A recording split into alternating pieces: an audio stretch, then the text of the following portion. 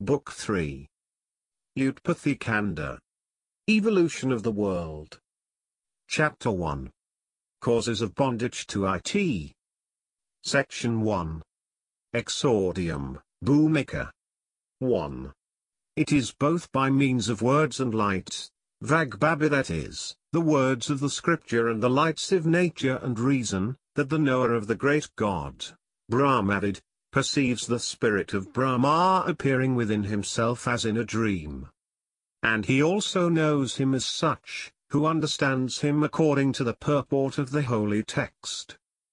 What this is, that is the self. That is, he is all in all. 2. This passage shows in short, the visible world to reside in the vacuous bosom of Brahma at its creation. It is now to be known in length, what this creation is, whence it takes its rise, and wherein it becomes extinct at last. 3. Hear me, O intelligent Rama. Now expound to you all things according to my best knowledge of them, and agreeably to their nature and substance in the order of creation. 4. One conscious of himself as a spiritual and intelligent being, views the passing world as a somnum, swapnam, dream. And this dreaming simile of the passing world, applies equally to our knowledge of ego and non-ego, which is as false as our cognitions in a dream. 5. Next to the book describing the conduct of the seekers of liberation, Mumukshu Vihara, then follows the book of evolution, Out Outpatti, which I am now going to propound to you. Section 2. Worldly Bondage 6. Bondage consists in our belief of the reality of the visible world, and our relation with its phenomena. So our release depends on the negation of phenomenals. Now hear me tell you how to get rid of the visible fetters of our minds. 7. Whoever is born in this world, continues to progress, till at last he obtains his final liberation, his ultimum and optimum perfection. Or rises towards heaven or falls into hell, under the subjection of his righteous and unrighteous actions. 8. I shall therefore expound for your understanding everything relating to the production and continuance of things, and their prior states as they were. 9. Hear me Rama, now give you an abstract of this book in brief, and I will hereafter dilate upon it, as you may wish to know more of this theory of production. Section 3 Phases of the Spirit 10. Whatever appears either as moving or unmoving in this world, know them all as appearances in a dream in a state of sound sleep, sushupti, which become extinct at the end of a kalpa age. The events of a kalpa or day of Brahma are as his daydream. 11.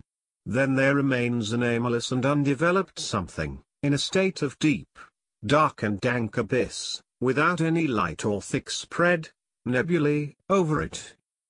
The Tohu bohu of Moses, the Tama equals Tom of Manu and Veda, and the moisture of Thales. 12.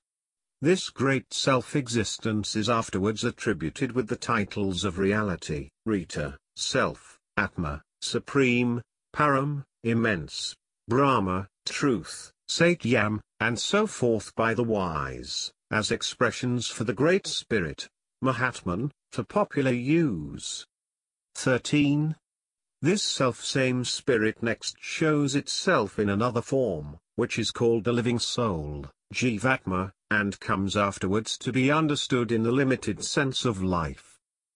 Jiva, Jeev, Zeor Zeus, Jinjan, Zooprotozoa etc. But it is the undivided and universal soul of which the divided, individual and particular souls are but parts and particles. 14. This inert living principle, Jiva life or the protozoa, becomes according to its literal signification the moving spirit, Akulatma, which afterwards with its power of thinking, Manana, becomes the mind, and lastly the embodied soul, Bhutatma. That is, from him, the spirit, is derived the life, mind and the organs of sense or body, whence he is styled the living, thinking and all acting deity. 15. Thus the mind is produced and changed from the quiescent nature of the Great Supreme Spirit to a state of restlessness, asarakara, like that of a surge, heaving itself in there, Pacific, ocean, that is, the restful spirit of God Brahma is transformed to the restless state of the mind, personified as Brahma or Hiranyagarbha, called the Atmabhu, the Son of the Spirit of God or God the Son, Demiurge. 16. The mind soon evolves itself as a self-volitive power which exercises its desires at all times whereby this extensive magic scene of the world is displayed to our view. This scene is figured as Virajmati, or manifestation of the desires of the will of divine mind, and represented as the offspring of Brahma in the Indian theogony. Vidi Manu on Genesis, chapter 1. 17. As the word golden bracelet signifies no other thing than a bracelet made of gold, so the meaning of the word world is not different from its source, the divine will.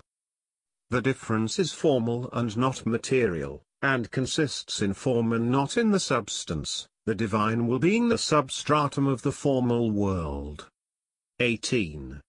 Again as the word gold bears the idea of the substance of which the bracelet is made, so the word Brahma conveys the meaning of immensity which contains the world in it. But the word world contains no idea of Brahma nor bracelet that of gold. The substance contains the form as a stone does the statue, but the form does not contain the substance, as the statue may be of earth or metal or of wood. 19. The unreality of the world appears as a reality, just as the heat of the sun presents the unreal mirage in the moving sands of the desert as real waves of the sea. So the phantasm of the mind Brahma, presents the phantasmagoria of the world, Viswarupa, as a sober reality. 20. It is this fantasy, of the reality of the unreal world, which the learned in all things, designate as ignorance, avidya, nature, sansriti, bondage, bandha, illusion, maya, erimoa, and darkness, dharmas. To denote our mental delusion and deception of senses. Section 4 Nature of Bondage 21. Now hear me relate to you, O moon-faced Rama. About the nature of this bondage, whereby you will be able to know the mode and manner of our liberation from it, as the diagnosis of a disease being known, it is not difficult to heal it. 22. The intimate relation of the spectator with the spectacle is called his bondage to the same, because the looker's mind is fast bound to the object of his sight. It is the absence of the visible objects. Therefore, from the mirror of the mind, which is the only means of his liberation. So also is the removal of the objects of the other senses from the mind. 23. The knowledge of the world, ego and two, as separate existences, is said to be an erroneous view of the soul, which is one and the same in all. And there can be no liberation of one, as long as he labors under this blunder of bedajnana or knowledge of individualities. This is called savikalpajnana or cognition of biplicity, which cannot lead to kaivalya mukti or the felicity derived from a knowledge of universal unity. 24. To say that the soul is neither this nor that, nedam nedam, is but false logomachy, which cannot come to an end.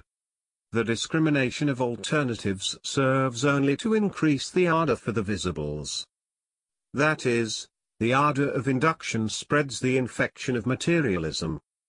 The idle netai netai and danadana of Vedanta philosophy is mere amphilogy and prevarication of both as idem et non idem. 25. It is not to be obtained by sophists by the chopping of logic or by pilgrimage or ceremonial acts, any more than by a belief in the reality of the phenomenal world. All these are observances of the esoteric faith and blind persuasion, but do not appertain to the science of esoteric spiritualism. 26. It is hard to avoid the sight of the phenomenal world, and to repress one's ardor for the same.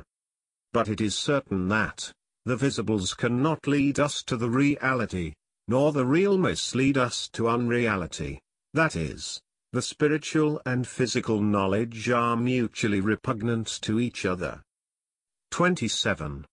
Wherever the invisible, inconceivable and intelligent spirit is existent, there the beholder views the visible beauty of God shining even in the midst of atoms. That is, every particle of matter manifests the beauty of its maker unless there be a dull material object to intercept the sight of the intelligent soul. 28. The phenomenal world has its rise from him, yet those ignorant people that depart from him to the adoration of others, resemble fools, that forsake Christ to feed upon gruel. That is, they take the shadow for the substance. 29. Although this visible world is apparent to sight, Yet O Rama! It is but a shadow of that being, who resides alike in the smallest atom as in the mirror of the mind, that receives the image of the largest as well as minutest things. Compare, as full and perfect in a hair as heart Pope. 30. The spirit is reflected in everything like a figure in the mirror, and it shines equally in rocks and seas, in the land and water, as it does in the mirror of the mind. Compare, wherever I cast my eyes, thy beauty shines. 31. The visible world is the scene of incessant woes, births, decay and death, and the states of waking, dreaming and sound sleep, are presenting by turns the gross, subtle and evanescent forms of things for our delusion. 32. Here I sit in my meditative mood, Aniruddha, having wiped off the impressions of the visibles from my mind. But my meditation is disturbed by the recurrence of my remembrance of the visibles. And this is the cause of the endless transmigrations of the soul, that is, the reminiscence of the past is the cause of our everlasting bondage in life. 33. It is hard to have a fixed, nirodha, and unalterable, nirvikalpa, meditation, samadhi, when the sight of the visible world is present before our bodily and mental vision. Even the fourth stage of insensible samadhi called the turiya, in the state of sound sleep, sushupti, is soon succeeded by one's self-consciousness and external intelligence. 34. On rising from this state of deep meditation, one finds himself as aroused from his sound sleep, in order to view the world full of all its woes and imperfections opening wide before him. Compare, I wake to a sea of troubles, how happy they who wake no more. 35. What then, O Rama? Is the good of this transient bliss which one attains by his temporary abstraction, dhyana, when he has to fall again to his sense of the sufferings to which the world is subject as a vale of tears? Compare, when the cock crew I wept etc. Young's Night Thoughts. 36. But if one can attain to a state of unalterable abstraction of his thoughts from all worldly objects, as he has in his state of sound sleep, sushupti, he is then said to have reached the highest pitch of his holiness on earth. For it is the entire oblivion of the world that is necessary for our spiritual perfection, as it is said, forget the present for the future. 37. Nobody has ever earned aught of reality in the scene of unreal vanities. For whenever his thoughts come in contact with any outward thing, he finds it inseparable from the blemishes of existence. Vanity of vanities, the world is vanity. Ecclesiastes 38. Should anybody, in the practice of the fixedness of his attention, fix his sight for a while on a stone, by forcibly withdrawing it from visible objects, he is sure to be carried away afterwards by the visibles pressing upon his sight. 39.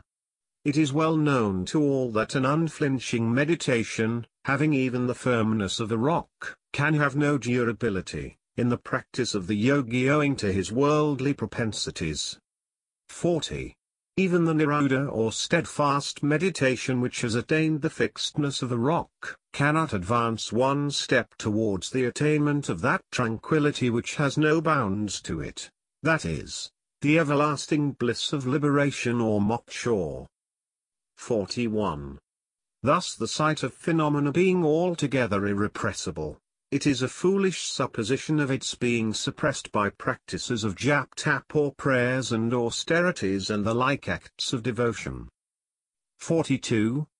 The idea of the phenomena, drasyadi, is as inherent in the mind of the spectator of the visible world, as the seeds of the lotus flower are contained in the inner cells of the pericarp. 43. The ideal of the phenomenal world, Drasyadi, lies as hidden in the minds of the spectators of the outer world, as are the inborn flavor and moisture of fruits, the oil of sesamum seeds, and the innate sweet scent of flowers. 44. As the fragrance of camphor and other odoriferous substances inheres in their nature, so the reflection of the visible world resides in the bosom of the intellect. 45. As your dreams and desires rise and subside of themselves under the province of your intellect, so the notions of things always recur to your mind from the original ideas of them impressed in the seat of the visibles, the mind. 46. The mental apparition of the visible world, deludes its beholder in the same manner, as the visual appearance of a spectre or hobgoblin, misleads a child, to its destruction. 47. The notion of the visible world gradually expands itself, as the germ of the seed shoots forth in time, and spreads itself afterwards in the form of a plant. 48. As the minute germs and animalcules, which are contained within the bosoms of fruits and embryos of animals, expand themselves to wonderfully beauteous forms afterwards, so the seed of this world, originally, lying hid in the divine mind, unfolds itself in wonderful forms of the visible phenomena in nature. Chapter 2 Description of the First Cause Section 1 Narrative of the Airborne and Aeriform Brahman 1. Vasishta resumed. Hear me Rama. Now relate to you the narrative of one Akasaja or airborne Brahman, which will be a jewel to your ears, and enable you the better to understand the drift of the book of Genesis. 2. The lived a Brahman Akasaja by name, who sat always reclined in his meditation, and was ever inclined to the doing of good to all creatures. 3 finding him long-lived, Death thought within himself saying, It is I alone that am imperishable, and devour all things one by one. 4. How is it that I cannot crand myself with this airborne, wherein I find my teeth as blunt in him, as the edge of a sword is put to the bluff by the solid rock? 5. So saying, he proceeded to the abode of the Brahman, intent upon making an end of him. For who is of so dull a nature as is not alert in his practice? 6. But as he was about to enter the house, he was opposed by a gorgeous flame of fire, like the conflagration of final destruction on the last day of the dissolution of the world. 7. He pierced the ambient flame and entered the dwelling, where seeing the Brahman before him, he stretched his hand to lay hold on him with all avidity. 8. He was unable even with his hundred hands, that is, with all his might, to grasp the Brahman, as it is impossible for the strongest to withstand the resolute man in his wonted course. 9. He then had recourse to Yama, his lord to clear his doubt, and to learn why he could not devour the airborne being. 10. Yama replied saying, Death, trust not too far thy own might, that makes thee mighty to destroy the living. It is the act of the dying person that is the chief cause of his death and naught otherwise. 11. Therefore do thou be diligent to find out the acts of the person thou intendest to kill. Because it is by their assistance only that thou canst seize thy prey. 12. Hereupon Death betook himself gladly to wander about in all places under the horizon.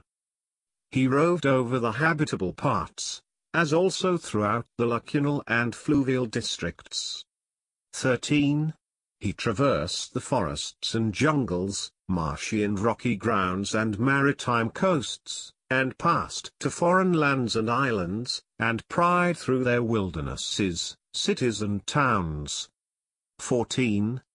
He searched through kingdoms and countries, villages and deserts, and surveyed the whole earth to find out some act of the Brahman in any part of it.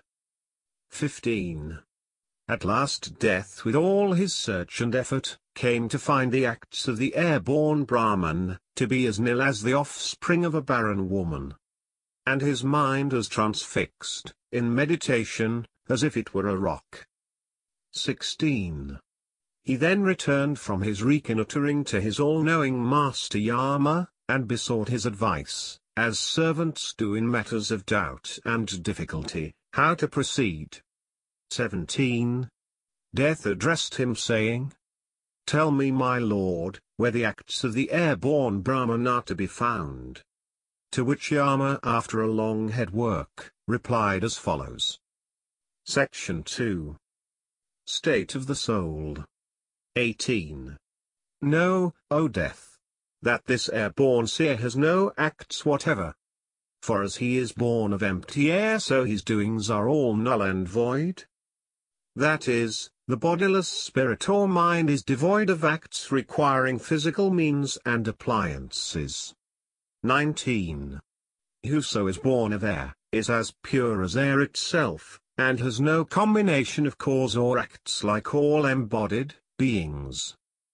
20. He has no relation with acts of his prior existence. He is nil as the child of an unprolific woman, and as one unborn, uncreated and unbegoted. 21. Want of causes has made him a pure vacuous being, and the privation of prior acts has made him as nil as an ethereal arbor. 22. His mind is not ruffled as those of others, by reason of the privation of his former acts. Nor is there any such act of his present state, whereby he may become a morsel to death. 23. Such is the soul seated in the sheath of vacuity, and remaining for ever as the simple form of its own causality, Karanadia, and not guided by any extraneous causation whatever. 24. It has no prior deed, nor does it do anything at present. That is, neither led by predestination, nor actuated by present efforts, but continues as something in the shape of aeriform intelligence. 25. Our inference of the actions of breathing and motion by the agency of the soul, is a mere supposition. Because the soul is devoid of every thought of or tendency to action. 26. It sits meditating on itself as inseparable from the Supreme Intelligence, just as the images, in painting and statuary, are inseparable from the mind of the painter and sculptor. 27. The self-born Brahman is as intimately connected with the objects of his thought, as fluidity is associated with water and vacuity with the firmament. 28. His soul is as immanent in the Supreme, as motion is inherent in the winds. It has neither the accumulated acts of past lives, nor those of its present state. That is, it is neither a passive nor active agent of prior or present acts, but is an indifferent witness of the acts of the body and mind. 29. It is produced without the cooperation of accompanying causes and being free from prior motives, it is not subjected to the vicissitudes concomitant with human life. 30. It is found to be no other than its own cause. And having no other cause for itself, it is said to be self-produced. 31. Say, how can you lay hold on that being that has done no act before, nor is in the act of doing anything at present? It is then only subjected to thee when it thinks itself mortal. But he that knows his soul to be immortal is not subject to death. 32. Whoso believes his soul to be of this earth, and thinks himself to be an earthly being, he may be easily overtaken by thee whose power extends over earth-born mortals only. 33. This Brahman is a formless being, by reason of his discerning the material body. Hence it is as hard for thee to enthrall him, as to entwine the air with a rope. 34. Death rejoined saying, Tell me my lord. How may the unborn Aja or the self-born Swayambhu, be produced out of vacuum? And how can an earthly or other elemental body be and not be, at the same time? 35. Yama replied. This Brahman is neither born nor is nil at any time. But remains forever the same, as the light of intelligence of which there is no decay. 36. There remains nothing at the event of the great doomsday, except the tranquil, imperishable and infinite Brahman himself in his spiritual form. 37. This is the nature of the everlasting vacuum, too subtle in its essence, and devoid of all attributes. But viewing present before its mind, the stupendous cosmos in the form of a huge mountain in the beginning of recreation. The mind is the noumenon, Brahma, and the phenomena of the world is the gigantic macrocosm known as Virajmati. 38. Being of the nature of intelligence it is imperishable. But those who view the spirit in the form of any phenomenal body, are liable to perish with it like all embodied beings. 39. Thus this Brahman remained in the womb of vacuity in the beginning, in his state of unalterable, vacuous intelligence. 40. It is purely of the nature of the inane understanding, and of the form of a vast expanse of omniscience. Having neither body nor organism. No acts nor agency, nor desire of any kind in itself. 41. That which is simply of the form of vacuum and pure light, is never beset by the snare of pristine desires, as a corporeal being, 42. It has nothing to know or see without itself, that is, beyond its self-consciousness. The only conception that we have of it, is what resembles an extended intelligence, that is, an all-diffusive omniscience. 43. Under these circumstances, how is it susceptible of any earthly or other external form? Therefore O death, desist from thy attempt to lay hold on the same. 44. Hearing these words of Yama, Death thought upon the impracticability of laying hold on empty vacuity by any body, and sorrowfully returned to his own abode. 45. Rama said. You said sir, that Brahma is your great-grandsire. I think it is he that you mean to say as the unborn self-born, universal soul and intelligence. 46. So is this Brahma, Rama. As I have spoken to you, and it was with regard to the same, that the aforesaid discussion was held of yore between Death and Yama, Pluto. 47. Again when Death had made an end of all living beings at the interval of a manvantara, he thought himself strong enough to make an attempt to bear down upon the lotus-born Brahma also. 48. It was then that he was admonished by Yama, saying, It is your habit that makes you go on your wonted course of killing. 49. But the super-ethereal form of Brahma too is beyond your reach. it being simply of the nature of the mind having connection with its thoughts only, and no concern with the actual forms of things. 50.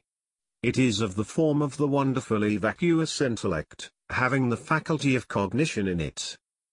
Thus the intellect being but vacuum, has neither any cause for it, nor any effect produced by it. 51. As the aeriform volitive principle in men, manifests itself without being connected with material forms, so is the self-born, Brahma, manifest to all in his own immaterial nature. 52. Like strings of pearl appearing to view in the clear firmament, and forms of cities seen in a dream, the self-born, Brahma, is manifest of himself without relation to external objects. 53. As there is no beholder nor anything beholden of the solitary Supreme Spirit which is the intellect itself. So is the mind manifest of itself, without its looking at or being looked upon by anybody. 54. It is the volitive mind which is called Brahma and volition being a spiritual faculty, has no connection with any material substance. 55. As the mind of the painter is fraught with images of various things, so is the mind of Brahma full of figures of all created beings. 56. The self-born Brahma is manifest in his own mind as Brahma is manifested in the vacuous sphere of his intellect. He is without beginning, middle and end, and appears to have a figure like that of a male being, while in reality he has no body, as the offspring of a barren woman.